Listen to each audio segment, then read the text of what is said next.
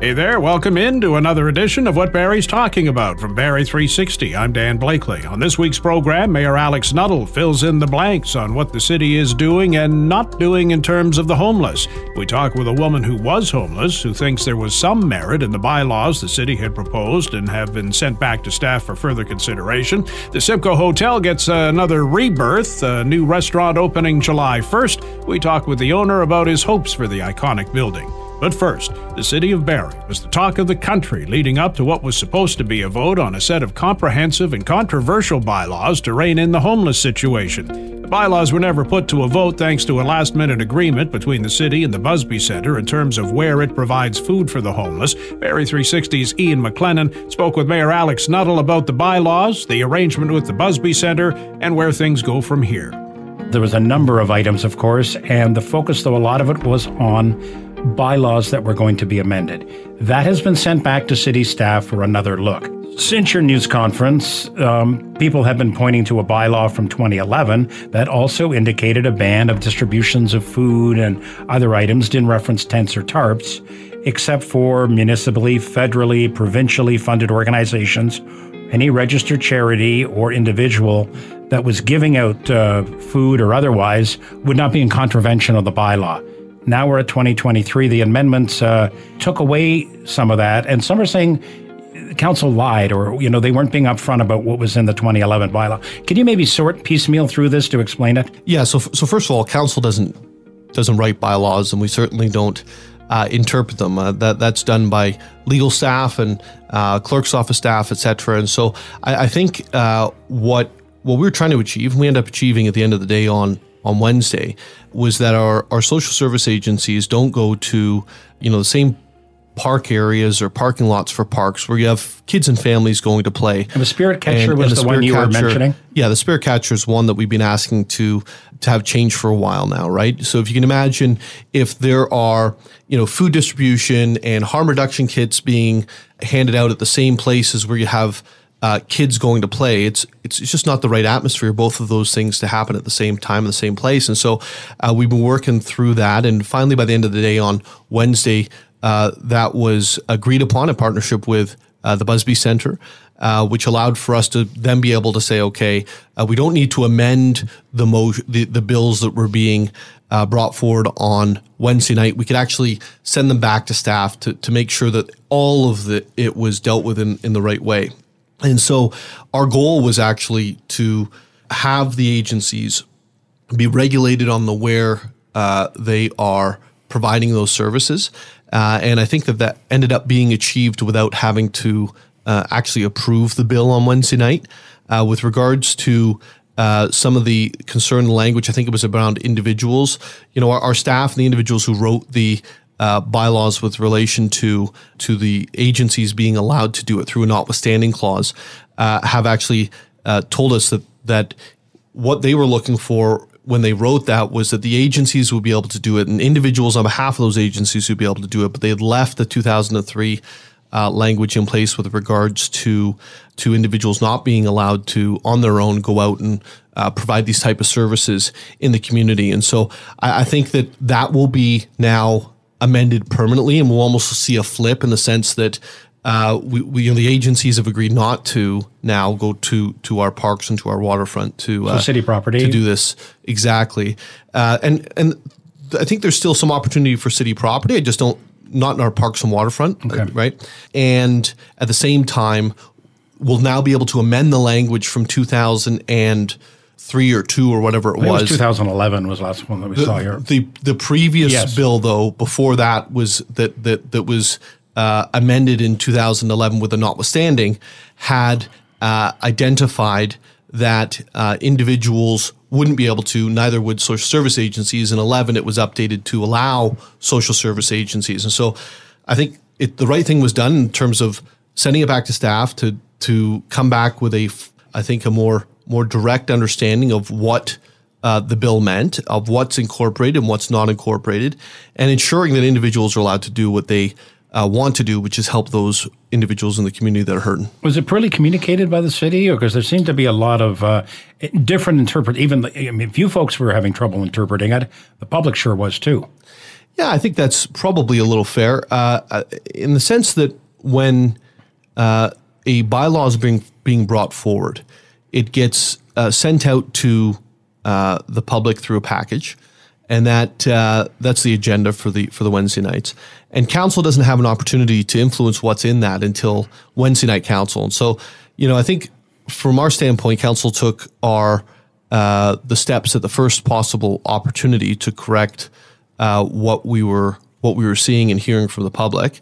And uh, and I think at the end of the day, the the right thing was done, right? And at the same time, we also achieved the objective of trying to make sure that these social service agencies are providing their very important programming, just in in a place that doesn't interfere with that with that family atmosphere. So uh, when city staff uh, takes a look again at at this bylaw, and if it's amended, um, I guess the public wants to know, um, Jack and Jill, um, if they want to distribute a tent to somebody on Duckworth Street or maybe they're in St. Vincent Park, will that be allowed? As it said in 2011, um, though they don't mention tents and tarps, that they would not be in contravention of any, of any bylaw. So, so I, I don't believe that the bylaw coming back will include individuals. So, you, when you say Jack and Jill, I assume that's not an organization uh, or agency. And, I, and quite frankly, I'm not even sure it's required to have the agencies in there anymore, just based on the agreed upon changes from uh, from the agencies. So I'll, I'll, wait to see what comes back from from our our public servants again.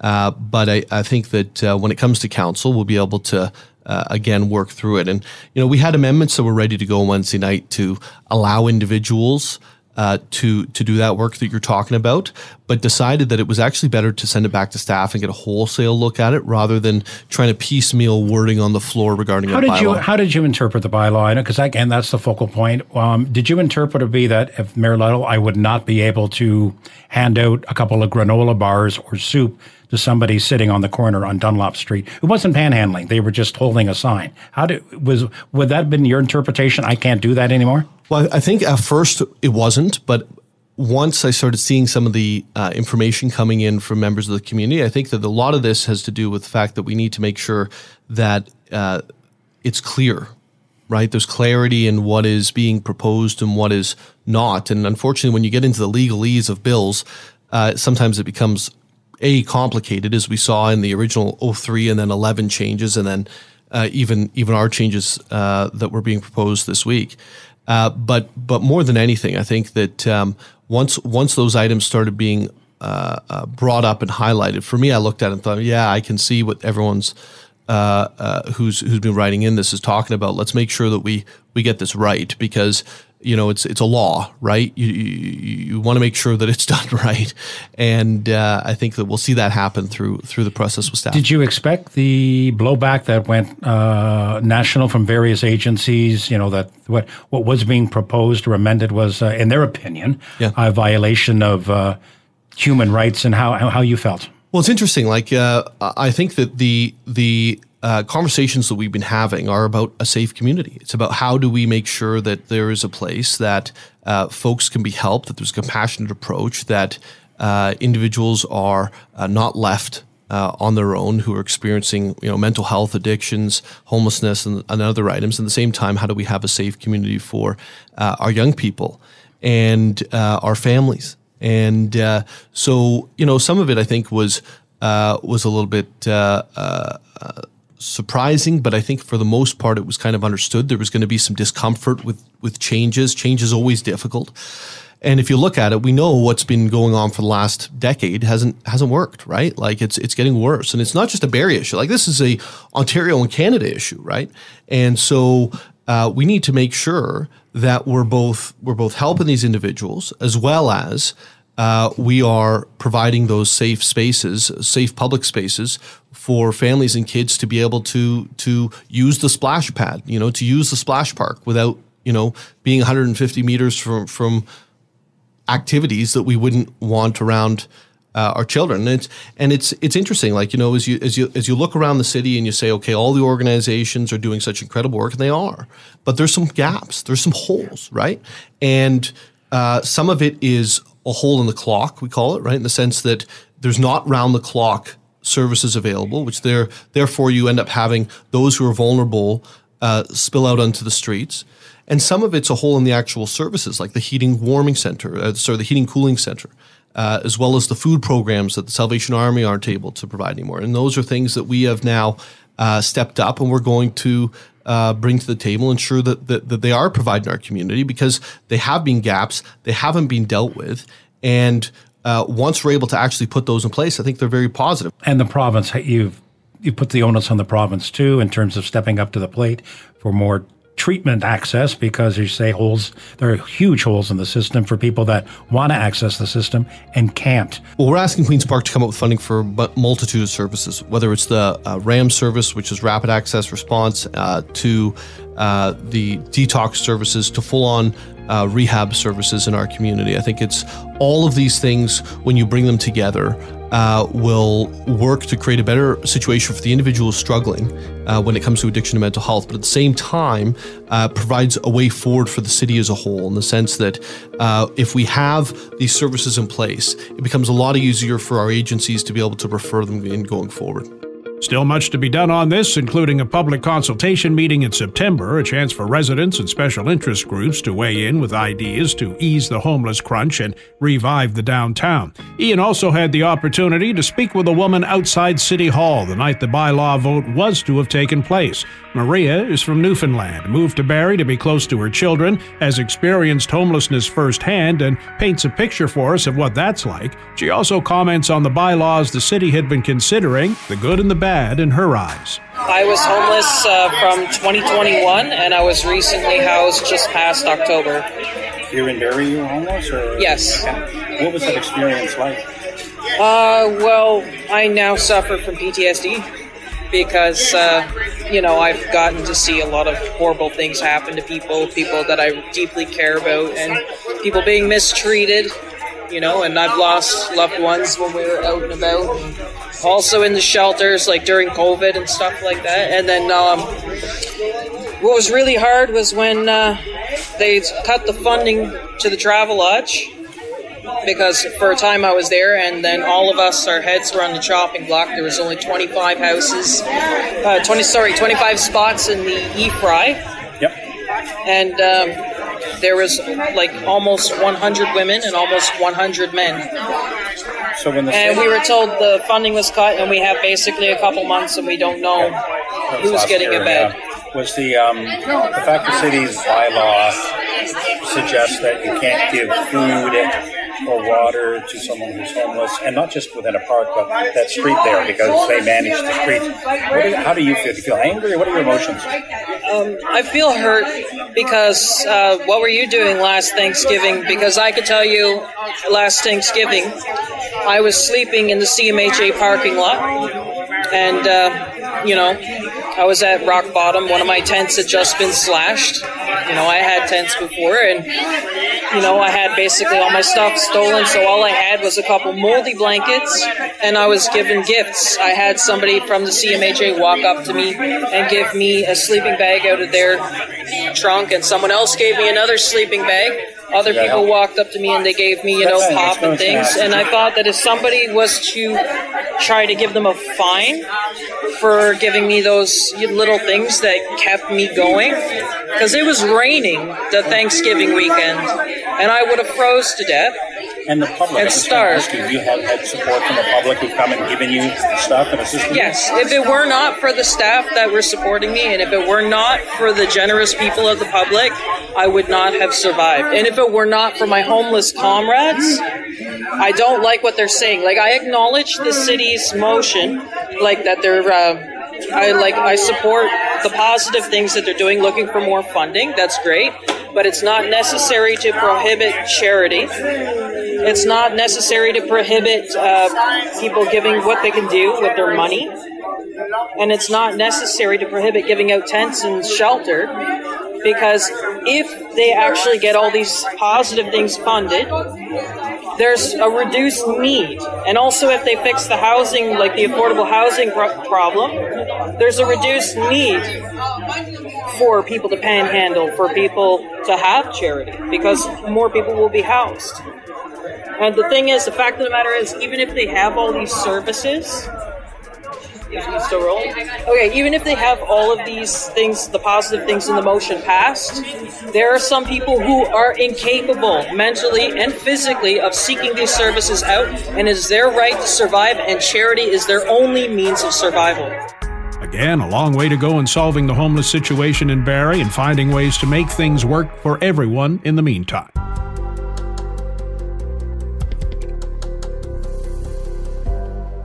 What Barrie's Talking About is a weekly podcast featuring the best Barrie and Simcoe County have to offer and more. We've covered a lot of ground since we began last summer, introduced you to Canadian singer songwriter Elijah Woods, met eight year old Morgan Mansfield, who's trying to save the monarch butterfly, and helped a local group find storage space for items collected to help Ukrainian refugees who have made the Barrie area their new home. You can get caught up and make it easy to keep up in the future by subscribing to What Barrie's Talking About through any streaming service.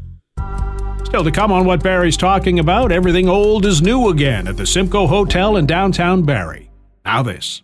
Our community rocks. It's a well known fact blood transfusion saves lives. It's also a well known fact that the world relies on voluntary unpaid donations to fill the need for blood. The need for blood never ends. Canadian Blood Services in Barrie is calling on you to help save a life. Please consider donating today. Appointments are mandatory and must be booked in advance. Book today at blood.ca through the Give Blood app or by calling 1 888 2 Donate. Our community rocks on Barrie's Rock Station. Rock 95. This is what Barrie's talking about from Barrie 360. I'm Dan Blakely. It oversees the Five Points in downtown Barrie, has fed and entertained many over the years, and is set to feed and entertain more with the return of the Simcoe Hotel Saloon and Eatery. We took the Barrie 360 microphone to the Simcoe last week while work continued on the inside and got the grand plan from owner Matthew Metzler. Originally, they were thinking about cutting the, this area into uh, three separate units. And so we started brainstorming on what would be the highest and best use here. And we said, you know what? Why don't we bring back the old Simcoe? Everybody seemed to love it. It's an iconic building. Uh, we've had an overwhelming amount of support from the community. Uh, just about every day we get somebody coming and knocking on the front door, asking if we're open, and we'll tell us stories about, I had my first beer here 45 years ago, type of thing. Yeah. Really cool. So you have a really vested interest in this place. Did I read somewhere or hear somewhere there's some family history too? Uh, so well, my contractor actually, so my contractor's grandmother used to work here.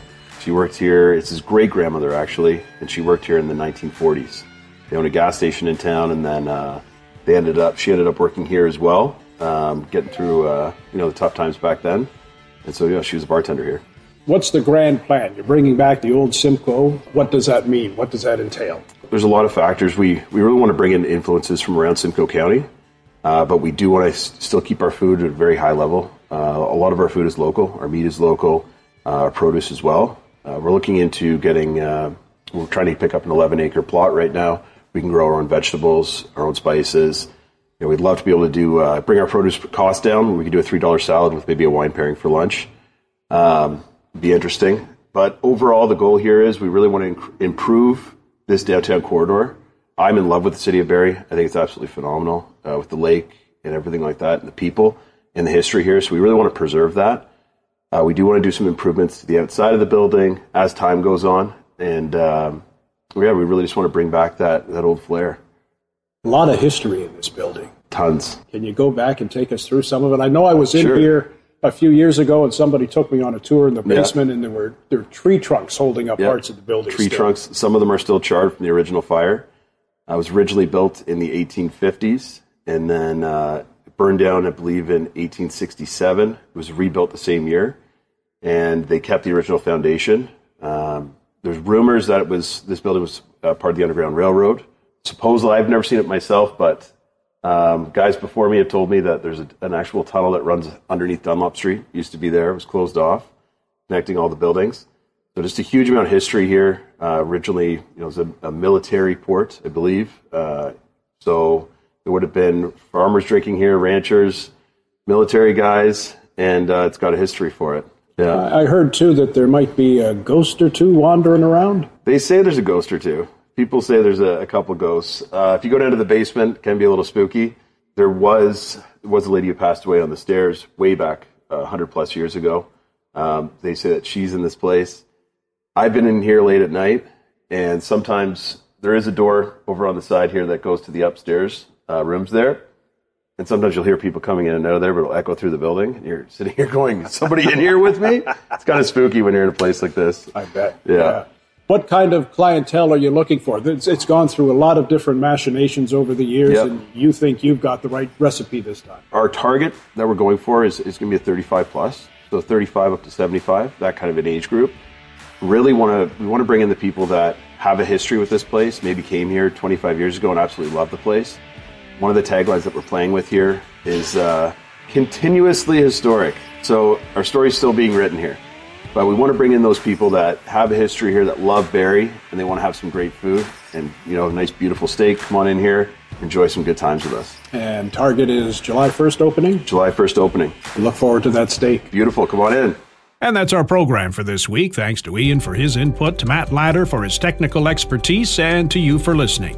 If you like what you've heard, please subscribe to what Barrie's talking about. Rate it, review it. You can also keep up with what Barrie's talking about on Facebook and Twitter at Barrie360, on our website, Barrie360.com, and on our daily Kickstart podcast, available from any streaming service and on our website. I'm Dan Blakely. Hope you'll join us again next week.